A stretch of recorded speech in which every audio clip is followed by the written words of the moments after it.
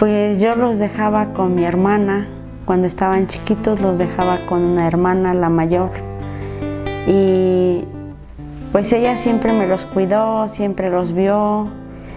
Claro, siempre me decía ¿no? que no era lo mismo sus cuidados de ella los míos, porque pues ella tenía sus hijos también y ella decía, no es lo mismo que estés tú y que les des un beso porque tú eres su madre. Este año sí fue más difícil, porque los años anteriores no. Nada más le decía, mañana vengo bebé. ¿Qué putas? Ocho meses. El primer año que yo entré, yo lloré.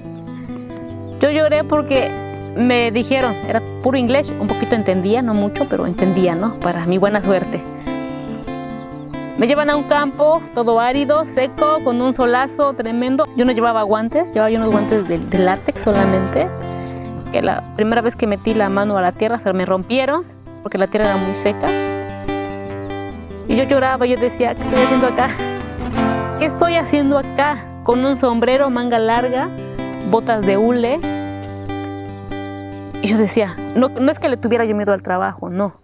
Simplemente la manera de verme yo como estaba en ese país, entonces yo me reflejaba como a, los, a, los, a unos señores que van a mi pueblo a trabajar que les llamamos clamangas, así, so, así, así, así con sus camisas, a veces la ropa ya rasgada, sucia, ¿no?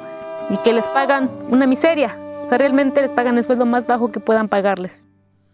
Labraste la tierra para sembrar semilla en nuestro futuro, hiciste el trabajo duro y de barro te empapaste, forjando las alas para volar lejano en un cielo inmenso.